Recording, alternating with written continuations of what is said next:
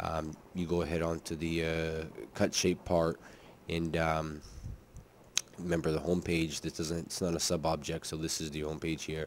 And then you just uh, you know create material there. Uh, make sure they're named the same. This is called uh, concrete wall cut shape so make sure your material is named exactly the same otherwise it will not work either. And this is concrete wall so make sure that your material name is concrete wall for this one alright so now we're gonna have to get into the uh, the scripting to make it all work here. Um, that's going to entail basically uh, making your own surface type um, defining in the uh, registering your cut shape in the physics uh, Lua script and um, using a little bit of Excel and I believe you can only use Excel for this. Um, not OpenOffice I believe OpenOffice corrupts these files but you're gonna need to use Excel.